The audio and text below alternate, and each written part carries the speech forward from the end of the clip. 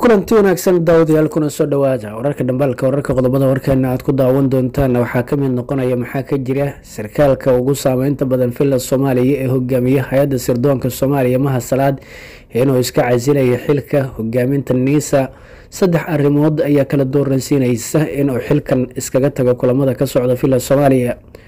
ra'iisul wasaare xamse cabdi bare waxaa la filaya in si deg dega oo isku shaandhayn ugu sameeyay xubnihiisa golaha wasiirada kadib codsi ballaaran oo ka yimi maamul goboleedyada qaarkood kaas oo ka mid ah arrimaha caqabadaha ku noqday shirka golaha wadatashiga qaran ee dalka. Mucaaradka lafta gareen hanjabaadii ugu adkeyd ayay shaaciyeen iyagoo kaga sii daray xaalada ka jirtay baadhabo maxaa ka jira in hogaankii shabaab ee ku sugnaa jiidda hore ee dagaalka ee galgaduuda iskaga carareen ciidamada dowladda federaalku xagee ayay ku sugan yihiin? Xubnahaasi xagee la geeyey waxaan idin haynaa xogta dhabta ee sirdoon ee la helay. Axmed madoobena waxa uu gudbiyey dalab deg deg ah oo villa soomaaliya uu hordhigay waxa uuna kulan gaar ah la qaatay xasan sheekh maxamuudi iyo sidoo kale ra'iisul wasaare xamse cabdi bare isagoo weliba dalbaday in codsigaas in laga jawaabo mooye uusan dib kaga laabanayn muqdisho inta daawatan waa qeyb ka mid a qodobada wararkeena ee daawada ku soo dhowo wararkaasi. Wararka dhamaystira subscribe saare janalka follow gare oo share gare pagekana waa ku mahadsantaha daawashada la socodka wararkeena. Aanu ku bilown sarkaalka kamidka ah xubnaha ugu saameynta badan villa soomaaliya ee mahad maxamed salaad ayaa la filayaa inuu iska casilay xilka hogaaminta hay'adda sirdoonka qaranka soomaaliya iyadoo weliba hay'addu maalmihii la soo dhaafay ay noqotay mid ka mid a kuwa ugu saameynta badan dalalka gobolka waxa uu qaatay markaan laba door oo kala dooransiinaysa inuu xilkan sii hayo iyo inuu iskaga tago. Waa kheyladhaan ka imaaneysa hogaamiyaha galmudug axmed cabdi kaariyo qoorqoor oo culays siyaasadeed uu soo wajahay islamarkaana soo gudbiyey inuu si deg dega u doonayo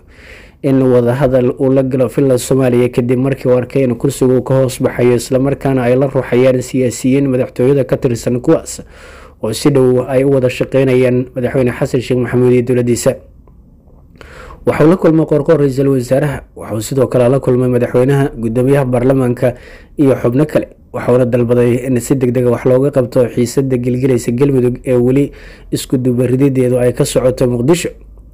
taasi waxa ay muujisay cimriga siyaasadeed ee qoorqoor iyo rajadiisu inaynan ahayn mid dheer iyadoo weliba ay ku dhiiradeen shaqsiyaad badan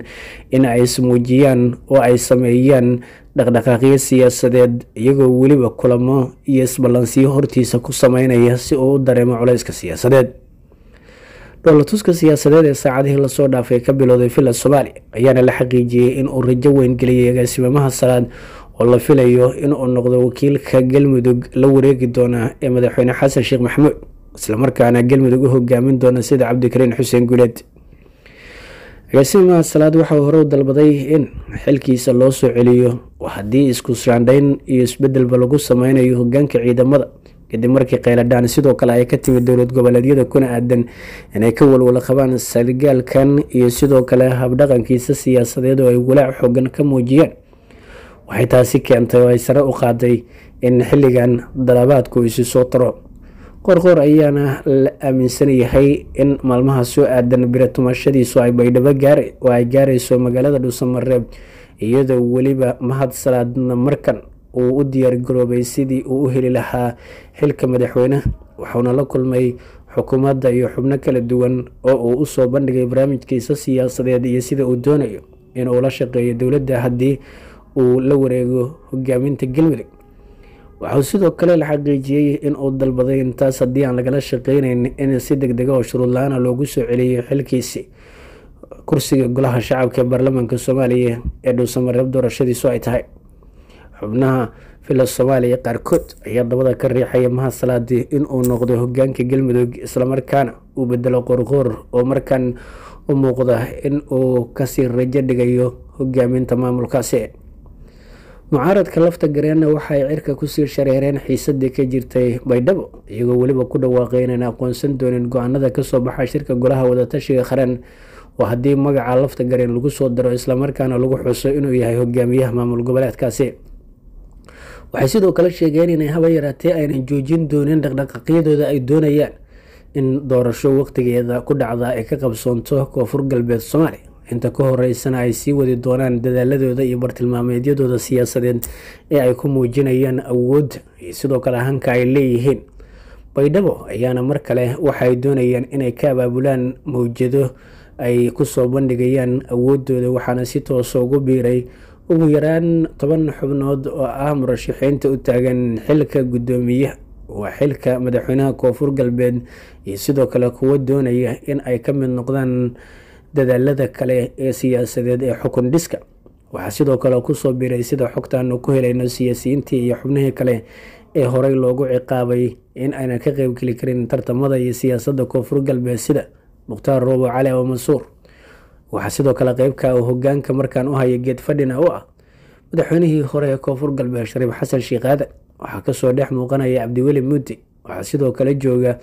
wasiirkii hore ee difaaca soomaaliya amar dambe wasiirkii hore ee difaaca soomaaliya cabdirashiid iyo sidoo kale xubno kale oo dhammaantood ka soo jeeda koonfur galbeed soomaaliya kuwaasoo la filayo in ay lafta gareen ku jebiyaan geedka u harsanayo ee baydhabo. Waxay sidoo kale ku dhawaaqeen in bulshada looga baahan yahay inay u diyaargaroobaan abaabul ay kaga horwareejinayaan ficilo bahalnimo ay ku tilmaameen islamarkaana ka imaanaya dhinaca lafta gareen xog soo baxday ayaa muujinaysa in hogaanka sare ee shabaab ay iskaga baxeen jiidda hore ee dagaalka ee aaga galgaduud iyagoo weliba iskasoo hormariyey dagaalyahalan dhalinyaro kuwaas oo loo soo carbiyey in ay difaacaan deegaanada gacantooda ku harsan ee galgaduud kadib markii militariga soomaaliya ciidamada isbahaysiga beelaha iyo sidoo kale diyaaradaha dagaalka ee saaxiibada caalamka ee cirka ka taageeraya ay u ruqaansadeen wejiga kale ee howlgalka bartamaha soomaaliya ayaa waxaa la xaqiijiyey in xubnaha sarsare ay iskaga baxeen difaaca hore. Saraakiil ka tirsan hay'adda sirdoonka soomaaliya iyo militariga dalka ee ku sugan gobolka galgaduud ayaa waxay sheegeen in markaa ciidamadu ay u dhaqaaqeen dhinaca galcad ay iskaga baxeen aagga ceelbuur iyo deegaanada xiga gobolka shabeellaha dhexe intaba cali maxamuud raage iyo sidoo kale yuusuf kaba ku tukaday oo ah hogaamiyihii ururka u qaabilsanaa gobolka shabeellaha dhexe kuwaasoo dib u gurasho sameeyey islamarkaana la xaqiijiyey inay ku sugan yihiin hawdka magaalada ceelbuur ee gobolkaasi. Sidaanu ka soo xiganay saraakiil ka tirsan militariga soomaaliya waxay sheegeen in ciidamadu ay leeyihiin awood buuxda oo ay ku sii gaaraan deegaanada gacantooda ka maqan ee gobolka galgaduud iyagoo aan hakin doonin ilaa ay u weeciyaan dhinaca gobolka mudug oo noqon doona wareega saddexaad saraakiisha militariga soomaaliya ayaa dhinaca kale waxay xaqiijiyeen in maanta isku ballaariyeen deegaano horle oo ka tirsan galgaduud iyagoo weliba ka soo ruqaansaday dhinaca jahada ceel waa guriceel iyo sidoo kale matabaan iyo meelo kale waxaana sidoo kale xusid mudan in ciidanka shabeellaha dhexe iyaguna ay weli ku sii jeedaan deegaanada hoostaga aga ruurigod ee xiga galgaduud ra'iisul wasaare xamse cabdi borre ayaa laga dalbaday inuu isku shaandhayn ku sameeyo xubnaha golihiisa wasiirada iyadoo weliba dowlad goboleedyada qaarkood ay sheegeen in aynan aqbali karin habka xukuumadda qaarkood ay u shaqeynayaan waxay wasiirada qaarkood ay wajahayaan markan cadaadiska ka imaanaya dowlad goboleedyada islamarkaana horyaala shirka golaha wadatashiga qaran. Waxay ka walwalsan yihiin wasiirka wasaaradda qiimaha gudaha wasiir dowlaha madaxtooyada iyo sidoo kale wasiirka wasaaradda amniga duulista hawada iyo gaadiidka ayaa ka mid ah xubnaha ay aadka kaga walwalsan yihiin dowlad goboleedyadu inay ka mid noqdaan bartilmaameedyada siyaasadeed. Sidoo kalena diinta iyo waqaafta ayay sheegeen inayna aqbali doonin deegaanadooda u tago.